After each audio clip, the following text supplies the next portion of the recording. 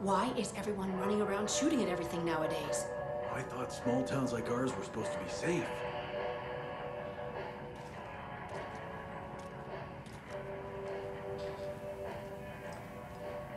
I've been thinking we need a neighborhood watch.